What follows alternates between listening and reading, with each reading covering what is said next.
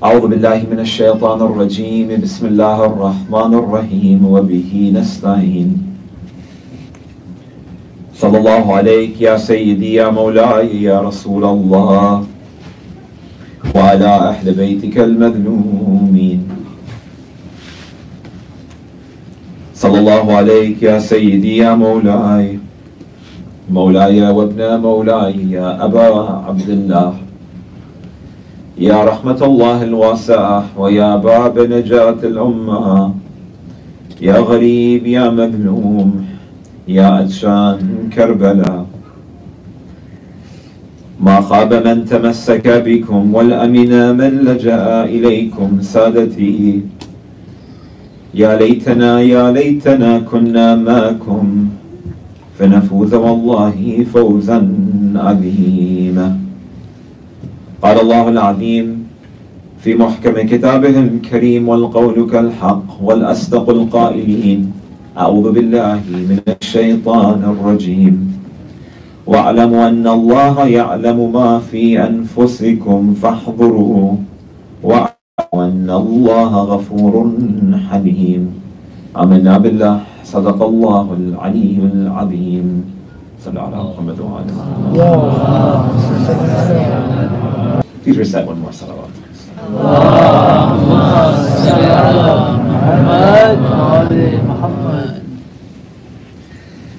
As we mentioned last night, the human being is distracted by a whole host of distractions. Every moment when we're walking on the street, we don't even have the opportunity to look up at the sky because we're always looking down at our phones. We're never, we're never able to hear the words of those around us or the birds that are chirping in the skies because our ears are plugged with our headphones. Distraction after distraction even during the course of those moments when we have to be most fixated in terms of understanding that we are in the presence of our Creator. During prayers, for instance, when we are praying our oblig- uh, obligatory prayers, the moment in which we should feel the most in terms of presence to Allah subhanahu wa ta'ala, in reality we see that we are least in terms of presence of Allah subhanahu wa ta'ala during the course of our prayers. We think about everything else except for the prayer while we're performing the prayer.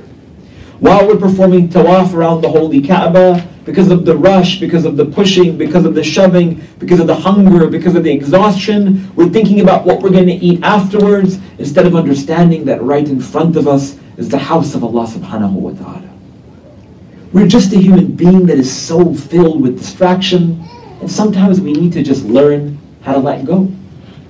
And so we are taught within Islamic tradition about the importance of performing certain rituals, like that of dhikr, like that of being in the state of remembrance of Allah subhanahu wa ta'ala. And being in the state of remembrance of Allah subhanahu wa ta'ala, it takes time to cultivate in and of itself. It's not just a ritual that we perform where I state Allahu Akbar or Alhamdulillah or Subhanallah or La ilaha illallah or any one of the adhkar that we've been taught. It's about understanding that during the course of that ritual that we're performing, that we have an understanding of what it is that we're reciting. And that through that recitation, again, it's a means by which it brings us closer toward our Creator, whereby we feel the presence of Allah subhanahu wa ta'ala. As the Messenger alayhi salatu wasalam, he tells his companion Abu Dhar al-Ghifari, Ya Aba Dhar, that worship Allah subhanahu wa ta'ala as though you see Him for even though you do not see him, he sees you. And as Imam al-Hussein alayhi salam, he states in Dua Arafah, this most perfect supplication, he states, Allahumma ja'alni akhshaka ka'anni arak. Oh Allah, allow for your presence to be filled in my heart to the extent that when I'm praying and that when I'm supplicating to you, I see you. And when that man, he goes toward Ali ibn Abi Talib and he says, Oh Ali, do you see the God that you worship? To which he responds, How can I worship a God that I do not see? But I do not see him through the eyes my face, but I see him through the eyes of my heart. When we go toward understanding the meaning of this term mindfulness these days, which is super popular, it speaks toward this idea of understanding where you are at a particular moment. to being self-conscious of your consciousness, to being really fixated at that particular moment to carry out whatever task that you're carrying out. And today we see that we allow for all unique supplements or supplemental lifestyles to allow for us to be in a state of focus at a particular time. When you're going to work, you need to make sure that you have drunk some coffee before. Because you feel that yourself is a lot more alert when you've intaken some caffeine. And then when your afternoon meeting comes, again, you need another cup of coffee. Because you know that that's the mechanism by which you are going to be in a state of focus. Other people, they do a whole load of other unique and strange things, for instance. If they have a very important day, they're going to have a routine the night before. Me, when I'm giving a lecture, especially an important one like these during the nights of Muharram, I have a particular routine that I have to follow. And if anything goes wrong in that routine, the entire lecture is going to go wrong. Even though probably it won't go wrong, but in my head, it's going to go wrong. So I cannot eat three hours before the meal. I need to have the water bottle to my right hand side. The other day it was on the left hand side and you saw me pick it up and you move it to the right hand side. I need to make sure that every single one of my lectures are in three different dimensions. I have to begin with a certain praise and then recite one verse of the Quran and make sure that my preparation on the day of begins the night before where I review my notes after everyone else goes to sleep. Then when I wake up in the morning, the first thing that I have to do is review my notes again. Then every time I get any free time, I'm going to look at it again. Other people, for instance, before they exercise, they take, for instance, a pre-workout shake or a supplement or whatever it might be, in order that they're in a state of mindfulness and focus during the course of what it is that they're going to do. It's natural. We want to be in control of what it is that we are going to do at any particular moment. At work, taking an exam, while we're exercising, while we're doing anything significant that is important to our day-to-day lives. And again, we feel many a time that if all of those forces and all of those energies are not in the right place, our consciousness for that particular task is not going to be as present as it should be. And again, we talk about this word presence quite a bit. When we speak about this notion of mindfulness, which again is not really a term that's founded within Islamic tradition, but I'll get into that in just a couple of moments. Allah subhanahu wa ta'ala, He says that the human being should have what is known as basira of their own selves. In the Arabic language, the word basara means to see. Basira, when it comes toward the Quran and when it comes toward the Hadith literature, is again not the sight of the eyes, but it's the sight of the heart the ability to see where you are at a particular moment and have control over where you are. Let me give you an example. When someone is very, very hungry, when someone is thirsty, when someone is very tired, when someone has a lot of stuff going on in their life that is allowing for them to accumulate a lot of stress, we often react in ways that we probably don't like. We get angry, we get frustrated, we use bad language. And then we often regret many a time when we act that way and we blame it on the fact that we were tired, that we were hungry, that we were thirsty, so on and so forth. It's natural. Every single human being, when they're undergoing these difficulties, when they're undergoing these stresses, they often act in a way that's unlike themselves, that's a bit out of character. And oftentimes we wish that we could take that moment back. And the reason why we deflect it and we say that the reason why that happened was because I'm tired, was because I'm hungry, was because I'm sleepy, was because of all of these reasons, is because we didn't have control over ourselves at that moment.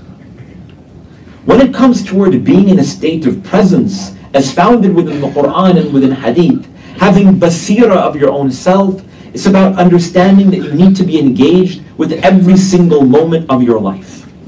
And that any time that you slip, even if it's to slip, there's potential for it to go in the wrong direction real fast. If you lose focus for one moment when you're driving a car, for one moment, all of a sudden, what has the potential to happen? It could lead to the detriment of your own life, the life of the passengers in your vehicle, and perhaps, please recite one more salawat.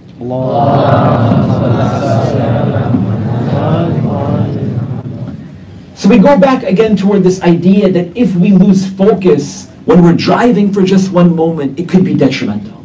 If we lose focus at a moment that is seemingly as trivial as just driving a car or crossing the street, we're not looking at the cars that are passing us by, it could be to the detriment of our own physical bodies.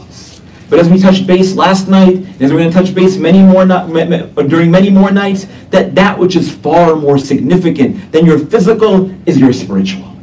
And thus, if we're not in a state of consciousness at any particular moment, it can lead to a lot of issues for your personal growth and your spiritual development in the eyes of Allah subhanahu wa ta'ala. So again, when we talk about this idea of mindfulness, it's about to be in a state of consciousness, to be in a state of understanding, to be in a state of recognition of everything that is around you, and that's how you want to pursue everything in your life. Because when we are focused, when we are digital, when we are diligent, when we are determined, the product is going to be that much greater. Everyone following what I'm saying? And so when we talk about this term mindfulness within Islamic tradition, as I mentioned before, it doesn't have one very clear term within our scripture. But we have numerous sort of anecdotes and ahadith and Quranic verses that speak to the importance of being in a state of presence. And I want to be able to understand the idea of mindfulness in Islamic tradition in three different dimensions. The first dimension is in terms of understanding what is mindfulness in Islamic tradition. Secondly, in terms of how we can become mindful in our day-to-day lives. And thirdly, the, ben the benefits of mindfulness as explained within the Quran and the Hadith literature. As for the first dimension then, what is mindfulness? Again, like I mentioned, there's no specific term that equivocates to it to the exact definition, but we have one term within our ahadith known as muraqabah, or what is known as muraqabat nafs, which is amongst the most important spiritual stations that a believer has to seek toward ascending to if they really want to understand their Creator. People have to go through different stages in their life. And it takes a lot of time toward going through these unique stages, toward again really being in the state of feeling the presence of Allah subhanahu wa ta'ala. Someone says, I really struggle with my prayers. My prayers don't allow for me to feel connected to God. Or I don't even think about God during the course of my prayers. Someone might say, for instance, that I went for Hajj, I went for Umrah, I went for Ziyarat, I fast during the holy month of Ramadan, but there are only certain moments during the course of all of these spiritual experiences that allowed for me to really feel a sense of connectivity. Maybe when I was reciting Dua Jawshan on Laylatul Qadr, Maybe when I heard the Masa'ib of Imam al-Hussein. Maybe the first time I saw the Kaaba. Maybe when I witnessed the grave of the Prophet Maybe when I was making dua on the plains of Arafat. Maybe one of these moments, maybe none of these moments. Everyone connects to something differently that allows for them to really feel the presence of God. But the idea is to allow for that feeling to be in a state of perpetuity, whereby we're always feeling it. Otherwise, what's the point of this long journey ours? if we're not every single day ascending a new stage and getting to a new height, then there's a lot of effort that we need to put forth, more so than we are doing at this moment. And so scholars have extracted and deduced from the traditions of Ahlul Bayt والسلام, this term again known as muraqabat nafs which comes from the root word raqib. One of the names of Allah subhanahu wa ta'ala is ar-raqib, which is what? Which means the all-aware or the all-vigilant. The idea that Allah subhanahu wa ta'ala, He sees us at every single moment during the course of our life. And that the believer, naturally then, if they are in a state of understanding that Allah subhanahu wa ta'ala is aware of every single one of our actions and every single one of our deeds, and more so even every one of our thoughts, then we'd just be that much more careful about every single one of our behaviors. And again, going back toward that idea of mindfulness, having a sense of consciousness of your own consciousness. That you know where you are at every single moment. And if you see that God is above you at every single moment, then, you, then at the very least you know you have a sense of consciousness that I am a creation and that He's the creator. And that every single thing that I do, and every single word that I speak, and every single thing that my ears hear and that my eyes see, if I know that Allah subhanahu wa ta'ala is vigilant and is aware over every single one of those things, all of a sudden it would influence our behavior tremendously. Which is why in the tradition, Imam Muhammad al-Jawad, our ninth Imam, alayhi salatu wasalam, he gives us a little bit of insight in regards toward the meaning of muraqabat al-nafs. Again, the sense of awareness over our own self. He states, وَأْلَمْ أَنَّكَ لَن تَخْلُوا مِنْ عَيْنِ اللَّهِ فَانْظُرْ كَيْفَ تَكُونَ That know, O believer, the Imam alayhi salam is saying, know, O believer, that there's never going to be a moment when you're hidden from the sight of your Creator. You're never going to be hidden from the sight of Allah subhanahu wa ta'ala. God is going to see you at every single moment of every single day of every single year of your existence. And then the Imam alayhi salatu wasalam says, so be. So now be who you now be who you have to be. Because all of a sudden, you just know that if that's the case, then you're just going to start behaving. For instance, when we were kids, we know certain things that we can get away with because our parents are not there. When we're at the workplace, many of us were adults. Most of us are adults. All of us, inshallah, are adults. At the workplace, you know that there's certain, perhaps, rules that you can bend at the workplace, especially when your manager is not there. So you can go on your phone and check your Twitter, update your Instagram, whatever it is that you got to do. You can extend your lunch break 15 minutes. But when your boss is there, there's no way in hell that you're going to go longer than an hour or 45 minutes or however long that it is. Because you don't want to mess with that. Imam Jawad wasalam, he states that know that every single moment of your life, Allah subhanahu wa ta'ala is watching.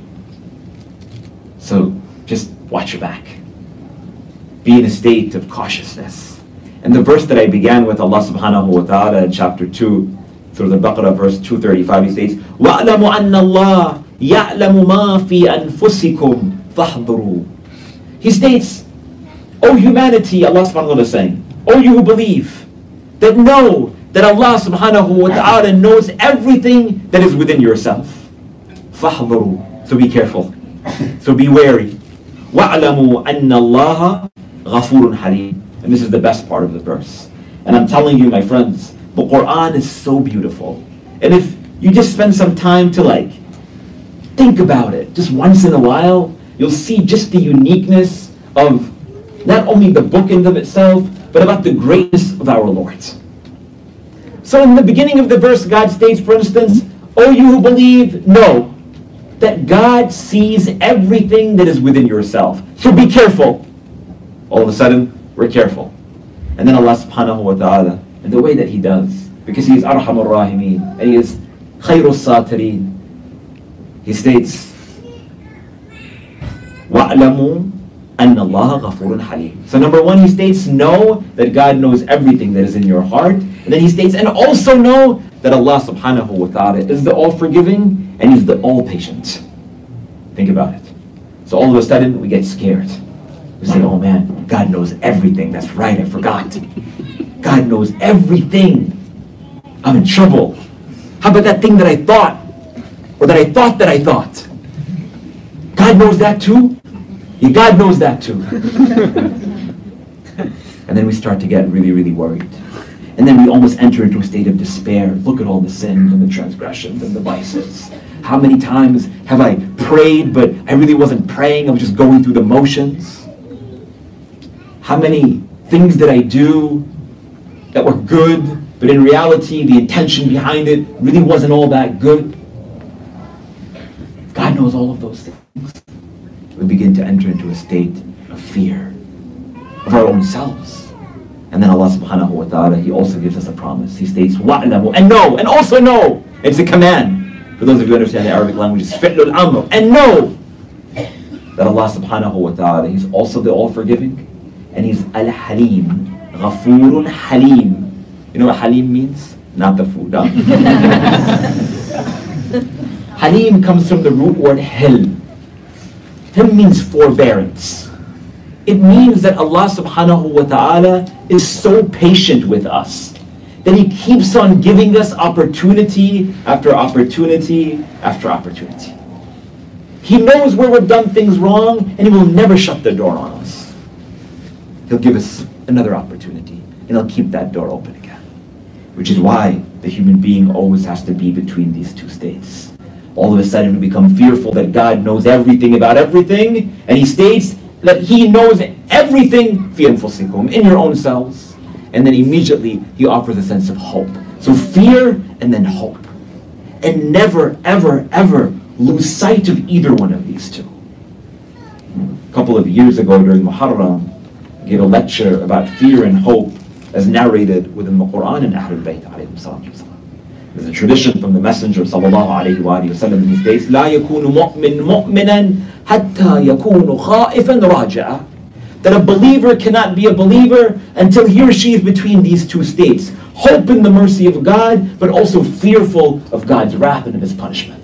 You can't prioritize one over the other. It's about being in a state of mindfulness that at every moment within our life, we have the potential to attain a reward, but we also have the potential to slip. And every single time we slip, we also know that we have the potential for mercy, and we're continuously on this cyclical process of progression. It's like a mutual fund. You put in a little bit of money, you're going to lose a little bit one day. But eventually, in the long term, it's going to grow. So it's all about. Your spirituality is the same way. You invest a little bit into it, and you're not always going to be successful, but it's going to take time. And when you slip, again, you know the mercy is there. But then when you get so clingy toward the mercy of Allah subhanahu wa ta'ala, and you think your investments are all set, they drop. And you're like, oh man, what am I going to do now? What else can you do except get back up the next day and strive again? And that brings me again then to the second dimension of my discussion. And that is in regards to exactly then how can we be a people who are mindful? How can we be a people who really are in a state of muraqabat nafs? Or again, the translation of muraqabat nafs being having a sense of vigilance, having a sense of awareness over our own selves at every single moment of our lives. A couple of different things, but before it, it's important to note that if we are not hard on our own selves and we are not aware or we don't make the striving or the effort to be aware of our own selves, then no one else will give us a handout. And that's just the reality of things, especially when it comes to our spirituality. When it comes toward building your relationship with Allah subhanahu wa ta'ala, people can offer support, but you have to put in the work, and that's just how it is. You can't copy off someone's homework because when the teacher's not there, it's the teacher's not there and you know where to bend the rules. But Allah subhanahu wa ta'ala, as we just said, He's always there. There's no cheating on the exam. You can't take someone else's prayers. You can't take someone else's fasts. You can't take someone else's charity. You certainly can't take someone else's night prayer. Every single one of us have to enter into a state of account for our own selves. And it starts by taking account of our own selves to really asking yourself, where is it that I'm at? Why is it that I lose control of myself so many times that allow for me to act in ways that I normally wouldn't act? Why is it that I can't focus on an exam? Why is it that I can't focus at work? It starts with a mindset that you tell yourself you can do it, and then you can do it. You can't just assume that the only diagnosis to all of your problems is drinking a cup of coffee. It's not going to help you in every single phase of your life. You know when you're tired, when you want to focus in the meeting, you drink the cup of coffee. When you want to go and you want to focus in your workout, you have your pre-workout supplement. Those are things that you diagnose and you realize how you can progress in that particular task. When it comes to your relationship with Allah subhanahu wa ta'ala, when it comes to the way that we act with others or speak with others or engage with others, it's not going to be fixed by a supplement. It's going to be fixed by effort and diligence and a sense of real focus and understanding of who we are as a human being. And the first step is to know that we're a human being with faults. We're a human being that has a lot of errors. We're a human being that is not void of sin. Which is why in one of the sermons of Imam Ali ibn Abi Talib salam, the sermon known as Khutbat al-Muttaqeen, the sermon of the pious, he states about the qualities of those who have a sense of God consciousness, that sometimes people go up to them and they praise them. Someone comes and gives you a compliment. You recited very well. You're really good at your job. Whatever it is. Someone, does, someone says something nice about you to your face the one who has taqwa, the one who has a sense of God consciousness, they respond by stating, Ana a'lamu. That they state, for instance, أنا أعلم بنفسي من غيري وربي أعلم بي من نفسي. That when someone comes and they offer you a sense of compliment, you respond to them by saying that, Oh Allah, that I am more knowledgeable about myself than what other people know. That's it. You humble yourself. Someone says, You're an amazing person. I'm sure you are an amazing person. Everyone is better than what is often perceived in our mind. You see someone, it's their first time coming to the program, you could say, Hey, where you been? Like I tend to do. I haven't seen you for the last five days. But the assumption should never be that they weren't engaged in terms of getting closer toward God or that they're not a lot closer to God than I. That's arrogance. That's pride for me, anyone, for me or anyone else to think like that. So what is it that we have to be doing then? We have to have good opinions of others, but we have to keep a lesser opinion of our own selves. And this is something that's hard to do, because oftentimes we beat ourselves up and we're very, very hard and difficult on ourselves. And I don't mean that we should be in a state of self-deprecation, whereby we feel that we are no good and that we're going to go to hell and that's it but rather that we always see there's room for improvement. And how do we do that except if we are a little bit critical of who we are? Or in other words, except if we have an accounting for our own self that takes place on occasion.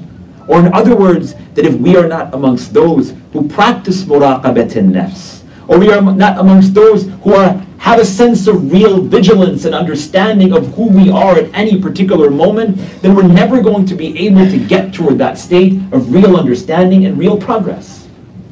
So the Imam wasalam, he states about these muttaqeen, those who have taqwa, that when someone praises them, they state, أَنَا أَعْلَمُ بِنَفْسِي مِنْ غَيْرِي وَرَبِّي أَعْلَمُ بِي مِنْ نَفْسِي Then I'm more knowledgeable about myself than what other people know. Someone praises me, yeah, they don't know the sins that I commit in the darkness of my home. They don't know what I did yesterday. They don't know what thought came into my mind. They don't know what I heard. They don't know what I said. They don't know how I abused somebody else. وَرَبِّي أَعْلَمُ بِي مِن نَفْسِي And Allah subhanahu wa ta'ala has more knowledge about, is more knowledgeable about myself than even myself. Who knows yourself better than your creator? Allahumma, they state, these individuals who have taqwa and they feel the presence of Allah subhanahu wa ta'ala, those who are God conscious, Imam Ali salam states, Allahumma la tu'akhidni bima yaqulun. Oh Allah, don't take me by what the people say about me. Don't judge me by what the people say. وَاجْعَلْنِي أَفْضَلَ مِمَّا يَظُنُّونَ And oh Allah, allow for my station in their hearts and their eyes to be even better than what they think. We want people to love us. We want people to respect us. وَاغْفِرْ لِي مَا لَا يَعْلَمُونَ And oh Allah, forgive me of those sins which they don't even know about. That's someone who's aware of their own self. Hurr al-Riyahi on the day of Ashura, he states, Inni ara nafsi bayna jannati wal nar. That surely I see myself. I see myself. That's what we're talking about.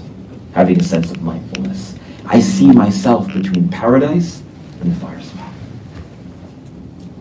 And when it comes toward that second question that we want to pose in terms of how is it that we can be amongst those attain a sense of mindfulness as taught to us by the traditions of Ahlul Bayt, there are three points. The first one of these is that we always have to be in consistent contemplation and reflection of our own mortality. If we know that we're not going to live this life forever, that again, just things are put into perspective whereby we will be that much more careful with every single one of our deeds and every single one of our actions. Can everyone please move forward one more time and recite one more salawat if you don't mind?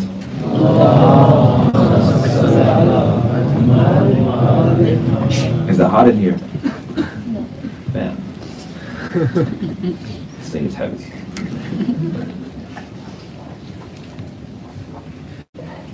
The first one of these points that we need to understand, that we really need to engage with, is being in a state of contemplation of our own mortality. Imam Ali alayhi salatu wasalam in the tradition, he states, An-nasun niyam, that all of humanity, they're in a slumber. Everyone is asleep. And when they die, they will wake up. Everything all of a sudden makes a lot more sense when death takes place. How many of you have ever had, we just mentioned that three of our community members have family members that just passed away, or two, and one that we are recollecting their tragedy today. How many of you have ever had someone in your family who has passed away? Most of us. Everyone has to deal with the reality of death. One third of the Quran, as mentioned a couple of nights ago, is dedicated towards speaking about death and the afterlife. It's a reality. كل نفس ذائقة الموت that every human being shall taste death. It's a reality. How come we don't like to talk about it? What's more guaranteed than our own mortality? Once we're alive, we know that that's going to be the end objective. If we think about it once in a while, everything allows for a sense of real clarity. Things start to make sense. You know you're not living for this anymore, you're living for something greater we like to deflect and we like to push it away because we don't want to have a sense of awareness of our own selves. Or we're not in a state of real consciousness over our own consciousness. They said that one day Musa salam was walking in the desert and he saw this man who was had, had his hands raised to Allah subhanahu wa ta'ala and he was weeping and he was crying and he was making dua to Allah subhanahu wa ta'ala the dua of the ghariq, the hadith it says. The dua of the one who's drowning.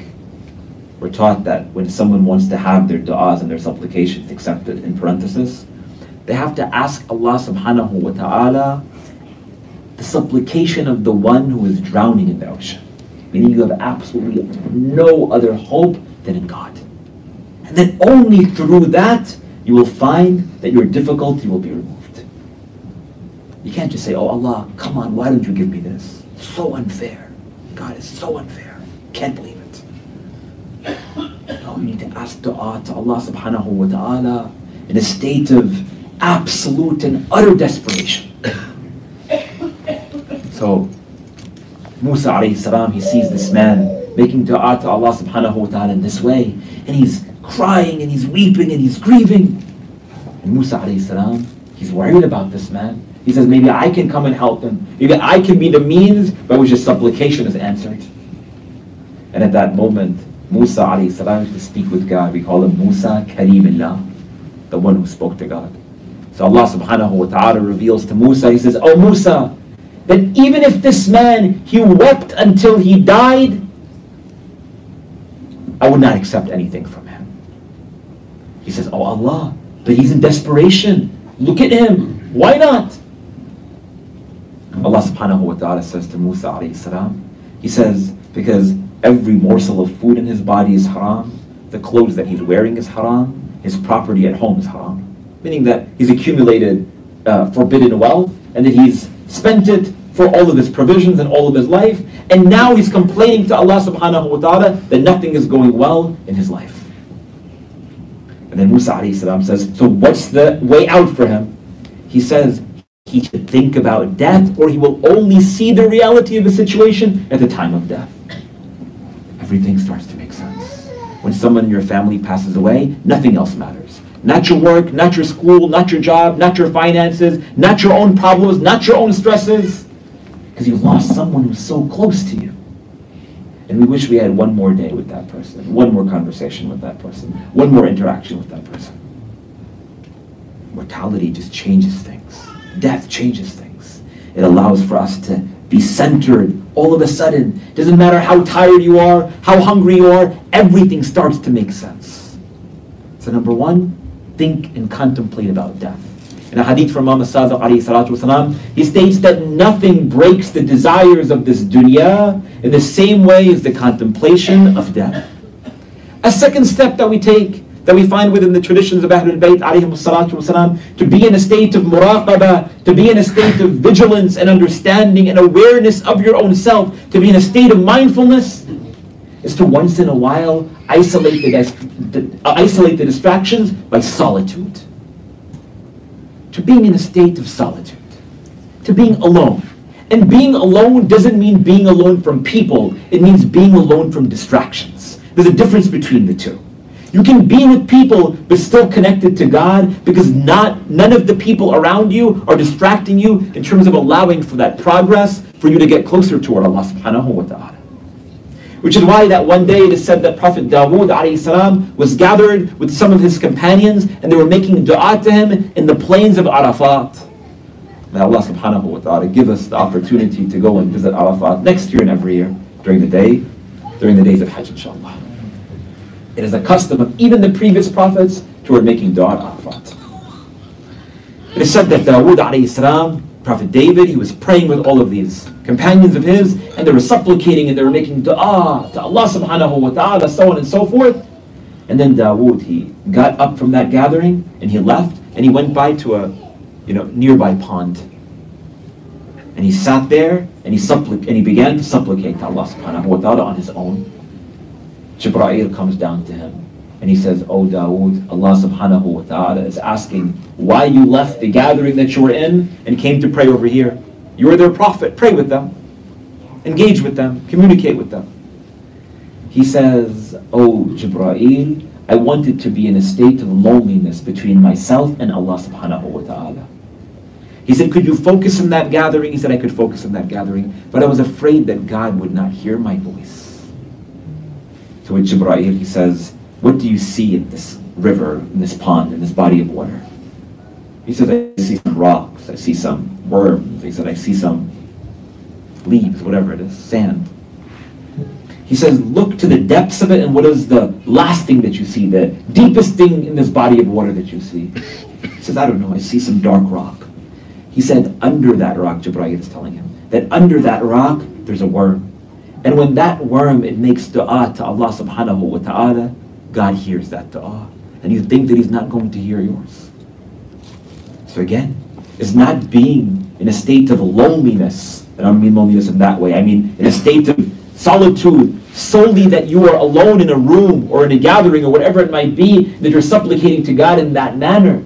It's about being in a state where you are not being distracted by your phone or by text messages or by your emails with none of that. You're only focused on Allah subhanahu wa ta'ala.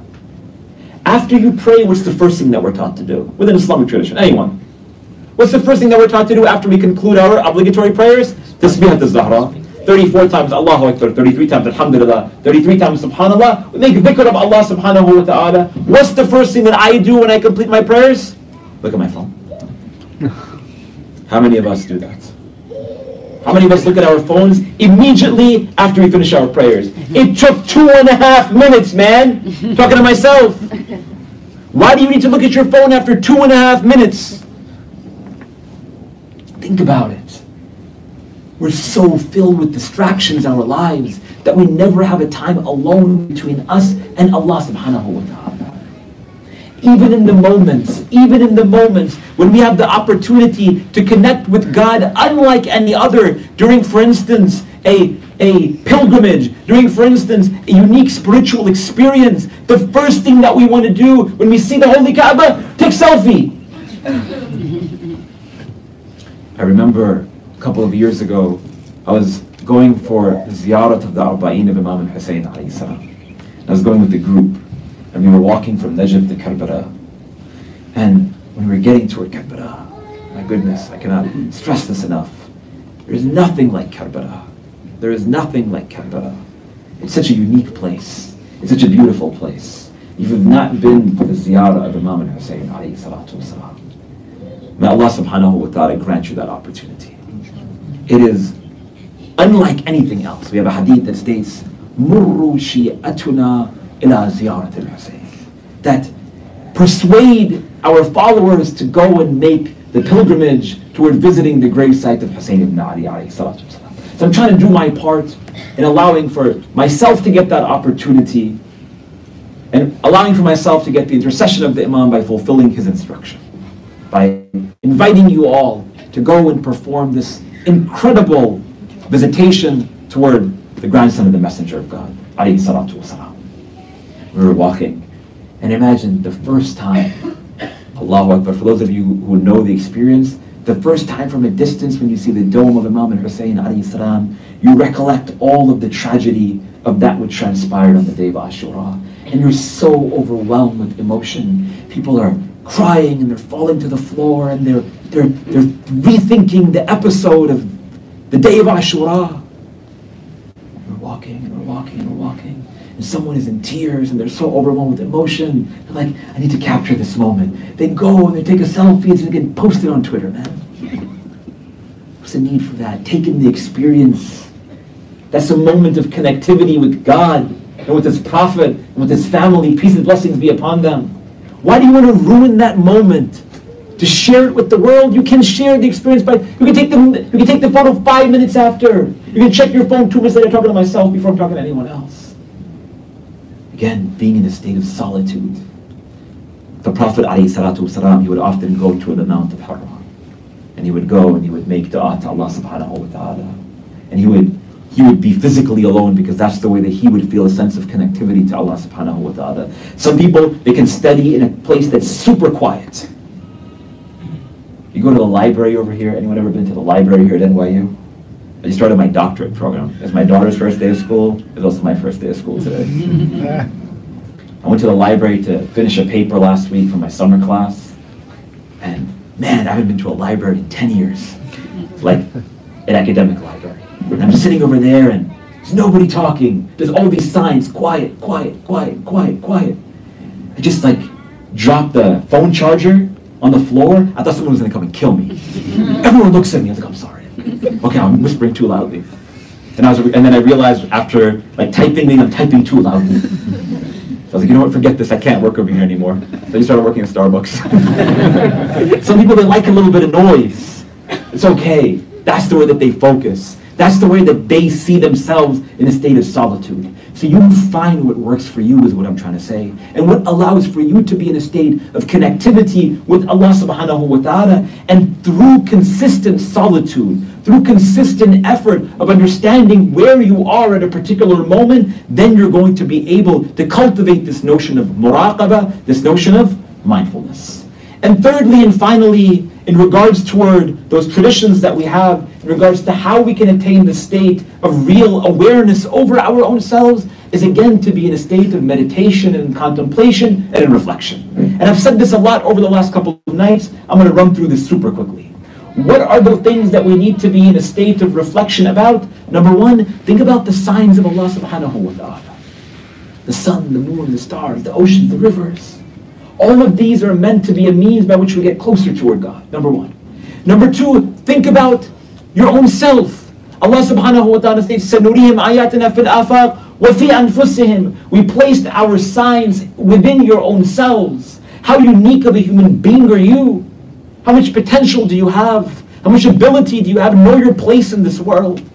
But also think about who you are physically. How come Allah subhanahu wa ta'ala created us with 10 fingers and 10 toes, and not 8, and not 7, and not 11? How come Allah subhanahu wa ta'ala placed our eyes on our face and not on our feet? How come Allah subhanahu wa ta'ala allows for us to walk on our feet and not on our fours? Thirdly, be in a state of contemplation about these verses of the Holy Quran, tadabbur al-Quran. Think about it. Discuss it with your friends. There's something beautiful about it. Think about it. And you'll find that again, a sense of understanding will overcome you all of a sudden, where you'll be so focused in all of your other life responsibilities.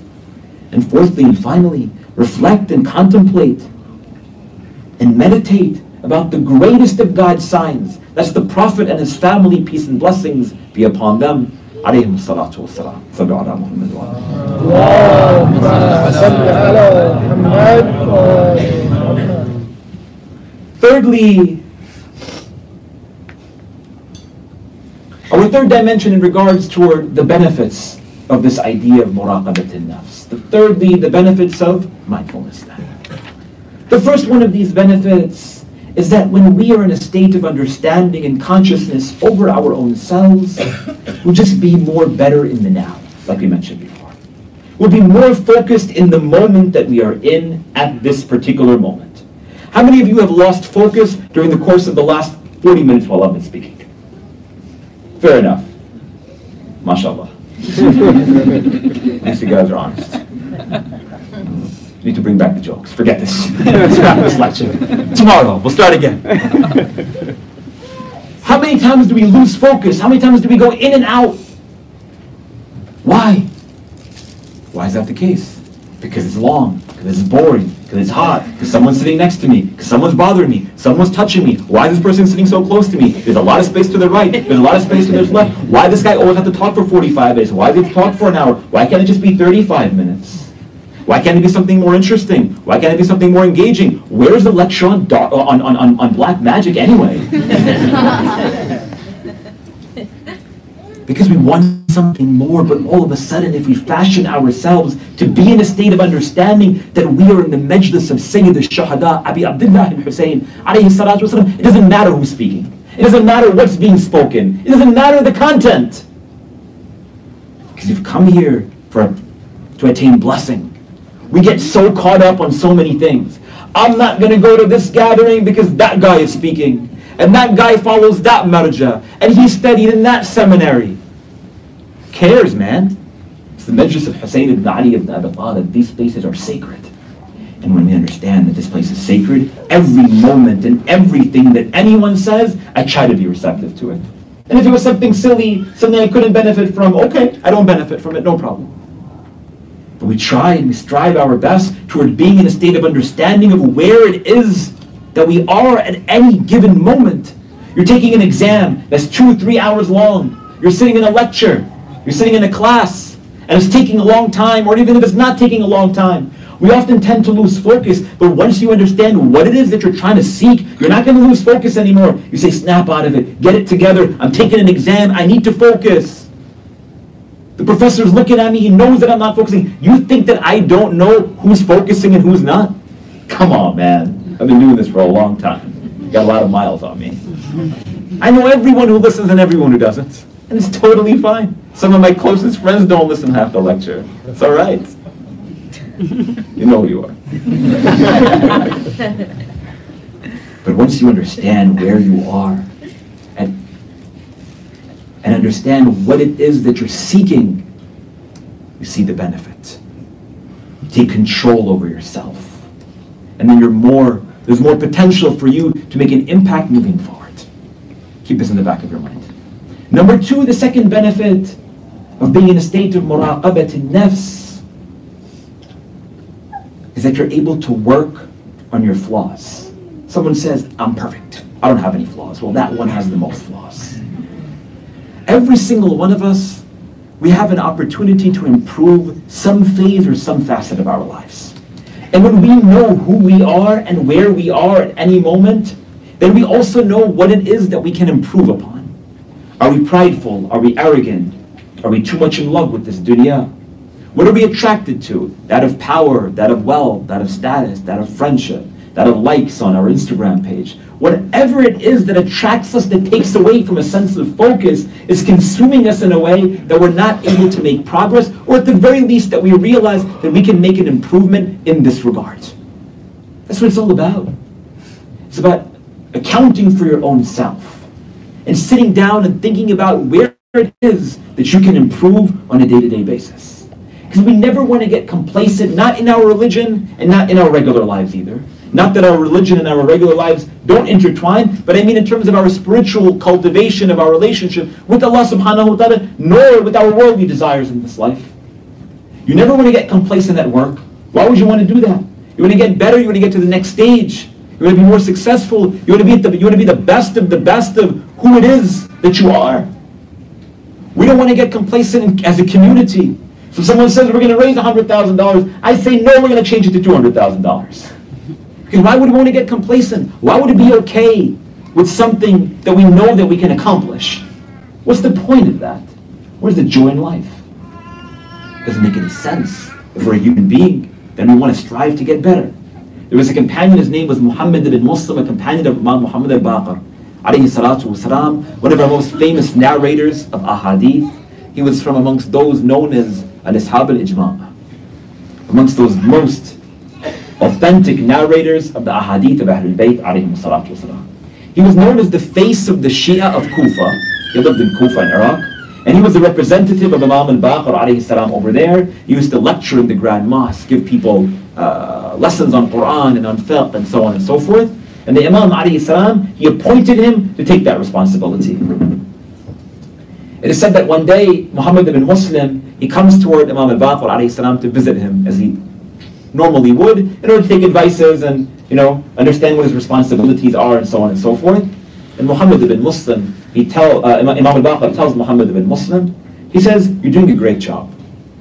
You're doing a great job teaching. You're doing a great job narrating our traditions."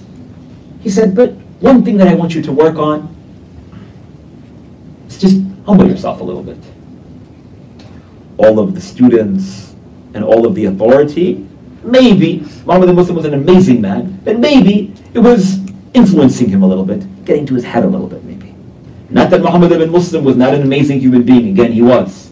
But the Imam salam, was instructing him and telling him, humble yourself a little bit. That's all he told him. He didn't even tell him anything else except for you're doing a great job, but just humble yourself a little bit. Imagine someone comes and they are critical of you. Someone, not who's random, but someone who's close to you, a close friend of yours. Someone you do go to for advice, for instance, a mentor, and they tell you you're are really, really good at everything, but I think that you should stop getting angry. For instance, I think that you should stop getting this or stop doing that. In a nice way, in a respectful way. Many times we get very, very defensive. Who's he to tell me that? Who's she to tell me that? How dare they say that to me? The only reason why they're saying that to me is because they're jealous of me. The only reason why they're saying that to me is because they're arrogant themselves, because they get angry themselves, or they're projecting. You know, there's a hadith that says that at the end of times, people are not going to be able to take advice. At the end of times, people are not going to be able to take advice. I'm not saying it's the end of time, but I'm just saying we're leading there. so Muhammad ibn Muslim, he goes back toward Kufa. He said, okay, no problem. He goes back toward Kufa, and right outside of Masjid Kufa, he saw a bunch of individuals who were selling dates. They were poor. The way that they used to make money is they go and they take some dates from the tree, and they sell those dates. He goes and he says, where do you get these dates from? They said, oh, we go to this farm and we pay him this much money and we take these dates and so on and so forth. Then we come here we try to make a little bit of a profit. Imagine Muhammad ibn Muslim is the biggest scholar of Kufa. He's the most important man in that city. He goes to that tree. He picks dates himself. He sits outside of the mosque of Kufa and he says, who wants to buy dates from me? Might not make a lot of sense to us, but what he was doing at that moment was that he was humbling himself in front of people. Because again, he saw himself as this highly reputable scholar, someone who was much above selling dates on the street like the poor people would. But he recognized that he needs to humble himself in front of himself. So that's what he would do.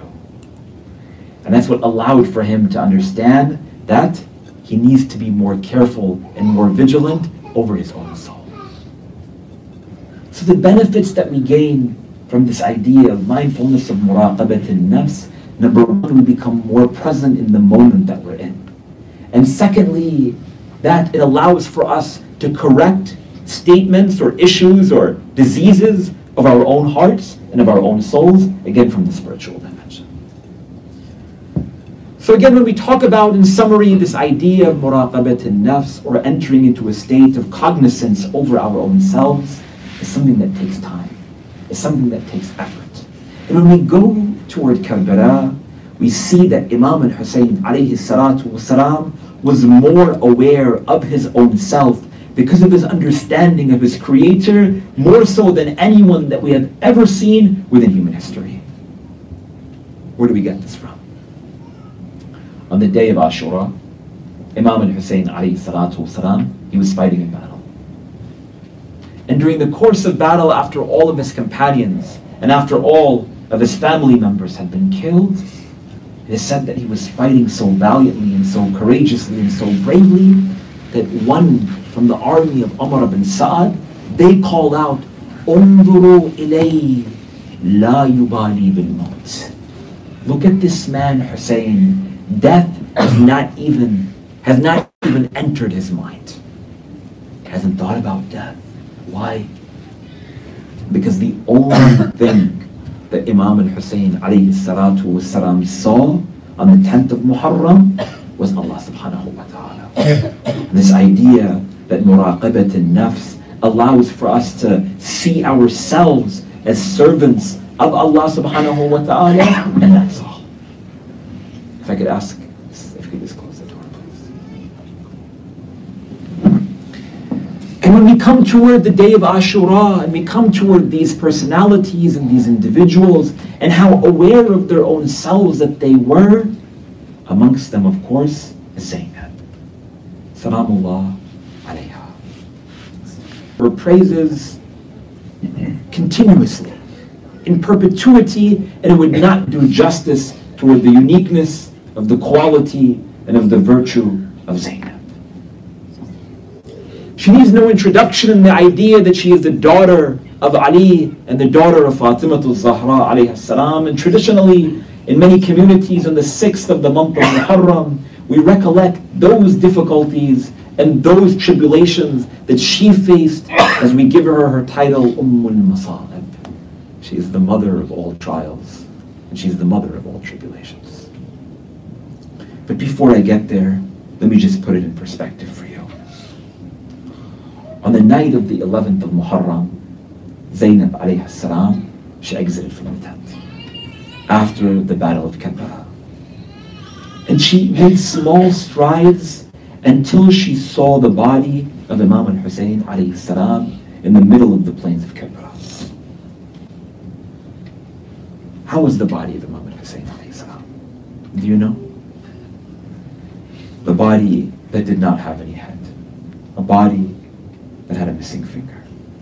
A body that had been trampled by the horses to the extent that the body of the Imam السلام, was imprinted into the ground of Karbala. Zainab السلام, she goes toward that body of her brother Hussein and she tries to lift up the body of Imam al-Hussein salam from the right side and it falls to the left. And she tries to pick it up from the left side and it falls from the right. And she musters up the courage and the bravery and her strength and the only thing that she lifts is the chest of Imam al-Hussein salam that didn't have a head. And she called these lines, she called out, رَبَّنَا تَقَبَّلْ مِنَّا هَذَا الْقُرْبَانِ She states, Oh Allah, accept this sacrifice from us. Who is Zaynab? She says, Oh Allah, accept this sacrifice from us. How could Zainab alayhi salam say, Oh Allah, accept the sacrifice from us in the plural? unless she was a part of that sacrifice or of offering that sacrifice. Before I even get to the Masa'ib, my friends, understand the uniqueness of Zainab alayhi salam. When we come to this gathering, every single one of us can say, Oh Allah, accept this majlis from us. Every one of you can say, Oh Allah, accept this majlis from us. I can say, accept this majlis from us. The ones who donated toward the sponsorship can say, Oh Allah, accept this majlis from us. The ones who recited poetry can say, Oh Allah, accept this majlis from us. Because every single one of us are partners in allowing for this message to disseminate. We are partners in the majlis of Imam al-Hussein Someone outside on the park, can they say, Oh Allah, accept this majlis from us? No, they can say, Oh Allah, accept this majlis from them. But they cannot say, oh Allah, accept this majlis from us. Keep this to the back of your mind. Zainab alayhi salam, she says, Allahumma taqabbal minna hadha al-qurban. Oh Allah, accept this sacrifice from us. When someone wants to offer a sacrifice, they have to have ownership. I can't take your money and then give it in sadaqah. That's not fair. That's not equitable. You have to have control and ownership of it on your own. So why does Zainab alayhi salam says, Oh Allah, accept this sacrifice from us? On the first dimension, Zainab alayhi salam was a partner in the message of Hussein. Which is why in one of the ziyarat we say, Assalamu alayka, Ya sharikat al-Hussein. Peace be upon you, O partner of Hussein. And secondly, why does she say us? The only one who could ever say to Allah, Oh Allah, accept this sacrifice from us is someone who owns Hussein or someone who's in a higher status than Imam alayhi salam. And in our ideology and in our aqidah, there is no one who is greater than Hussein alayhi salam except for the Prophet, Ali, Fatima, and Al-Hassan.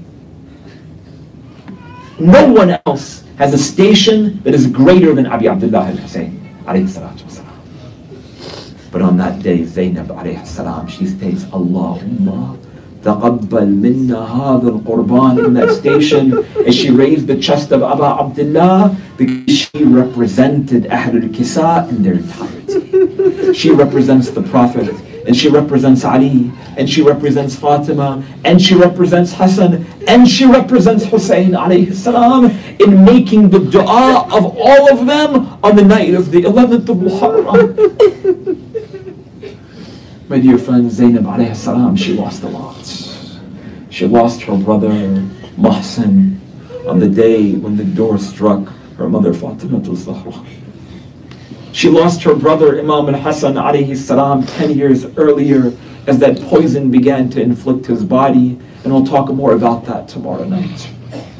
She lost her brother Abu Fadl al-Abbas alayhi salam when that arrow pierced his eye and a man came and struck his head.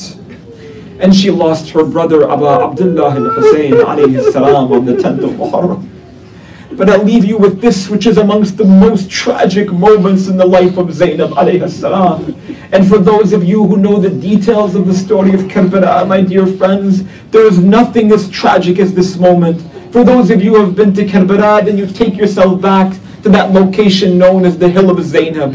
And during these days from Muharram, from Ashura until the Arba'in, there's a sign, there's a banner that's hung up on that location known as Till Zainabi. It states, Assalamu alayka ya Jabal sabir Peace be upon you, O the mountain of patience, because you had to bear the mother of all patience. Because it is stated that when Imam al-Hussein alayhi salam had fallen down from his horse, what happened? One by one, the army of Umar ibn Sa'd, they were fearful to go and be the one who did the deed of severing the head of Imam al-Hussein from his body. But Zainab alayhi salam, she was watching from the tent, and one by one they would come to the Imam, they would see the beauty on his face, remembering that he's the grandson of the Prophet of God, and they would run back toward the tent of Umar ibn Sa'ad until Umar ibn Sa'ad, he looks towards Shimr bin Dhil Jawshan, and he says, Oh Shimr, go and do the deed that you've been asked to do. So the narration states that as Shimr began to run toward the body of Abu Abdullah, Zainab began to run up that tent, and as Shimr climbed on the body of Abu Abdullah. Zainab, she reached the climax of that hill. And at the moment when he took out the dagger, Zainab began to run down. But at that moment she froze. She wanted to go and defend her brother Abu Abdullah. But from behind her she heard the calls calling out, Oh, our Aunt Zainab, are you going to bring us water? So Zainab alayhi salam, she stood in the middle, looking at her brother Abu Abdullah, and then turning around and seeing Sukaina. And she wondered, what should I do at this moment? As the head of Hussein was severed, and as the children of Hussein were crying out the thirst of our aunt.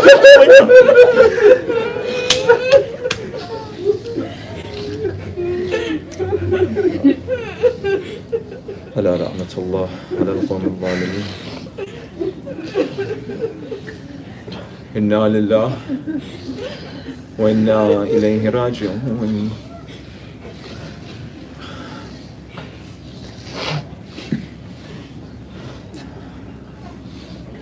We ask Allah subhanahu wa ta'ala for the blessing of this night, for the grief in our hearts over our master Abi Abdullah al-Hussein, alayhi salatu wasalam, to make us amongst those who follow in the footsteps of Abi Abdullah. We ask Allah subhanahu wa ta'ala to make our lives resemble the life of Muhammad and wa ali Muhammad. And we ask Allah subhanahu wa ta'ala to allow for our deaths to resemble the death of Muhammad and wa ali Muhammad. We ask Allah subhanahu wa ta'ala to raise us with Muhammad and wa ali Muhammad and to grant us their shafa'ah in the barzakh and in the next life. We ask Allah subhanahu wa ta'ala to allow for among for, for those amongst us to be aware of our own souls and allow for us to have our sins forgiven by this grief. We ask Allah subhanahu wa ta'ala to grant us tawfiq. We ask Allah subhanahu wa ta'ala to grant us the ziyarah of Imam al-Hussein alayhi salam in this life and shafa'a in the next life. I ask you all to recite one Surah Al-Fatiha, but before that, one salawat ala Muhammadin wa ala Muhammad. Amen.